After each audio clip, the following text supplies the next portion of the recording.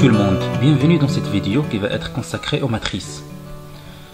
Dans cette vidéo, on va voir comment créer une matrice, comment remplir manuellement une matrice, comment faire des opérations sur les matrices, aussi comment calculer le déterminant, faire la transposée, l'inverse de la matrice et aussi calculer les valeurs propres et les vecteurs propres. Alors passons à la partie pratique. Alors pour les matrices. Alors pour créer, afficher une matrice de deux lignes et trois colonnes. Qui va recevoir matrix matrix. Ça c'est le nombre de lignes. De lignes alors deux. Pour les colonnes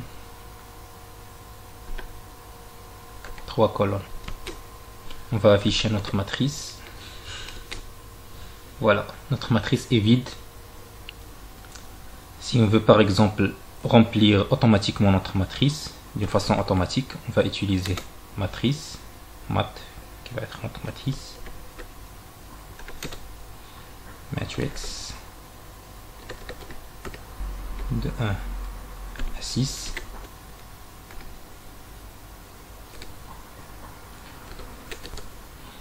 le equal to et n colonne égale à 3 by row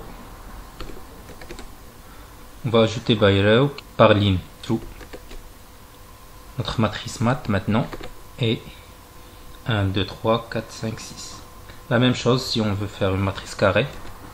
9 3 et notre matrice de 1 à 3 alors euh, si j'utilise ici false notre matrice sera comme ça. C'est la transposée de celle-là.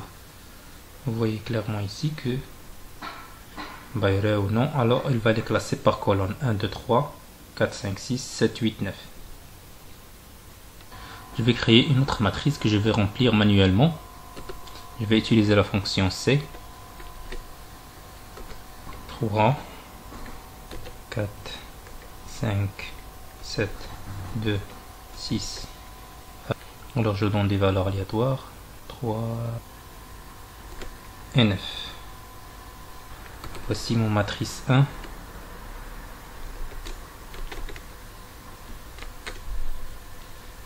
Voilà, il va classer les valeurs 3, 4, 5, 7, 2, 6, 2, 4, 9. Alors si je veux faire la somme des deux matrices, je vais faire somme qui va être mat 1 plus mat mat 1 plus mat alors somme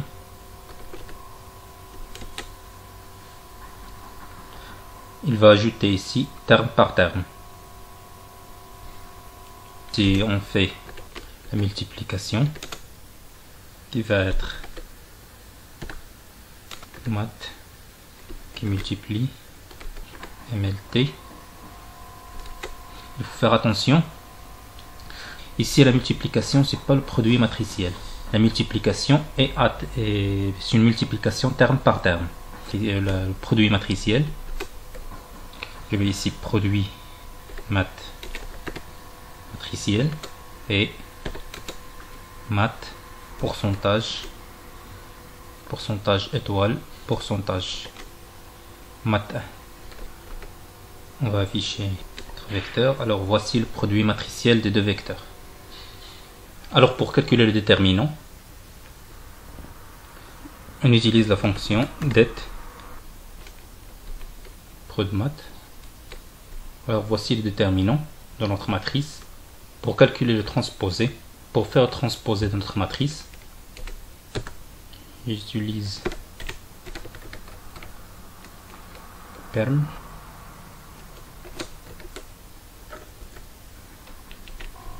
Voici le transposé de notre matrice. Vous voyez les valeurs sont transposées.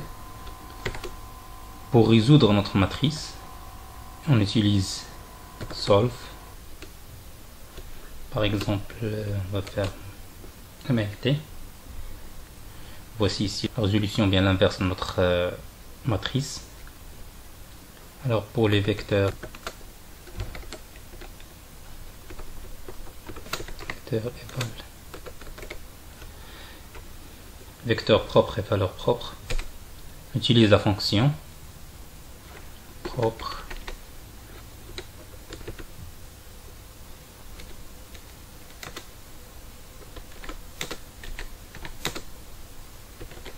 Eigen mlt alors pour afficher les valeurs propres on va utiliser propre symbole dollar. Value. Voici les valeurs propres de notre matrice. Pour afficher les vecteurs propres on va faire propre symbole dollar vecteur. Voici les vecteurs propres. Ou bien tout simplement taper propre. J'espère que vous avez appris quelque chose avec moi aujourd'hui. Merci pour votre attention et à la prochaine vidéo, Inch'Allah.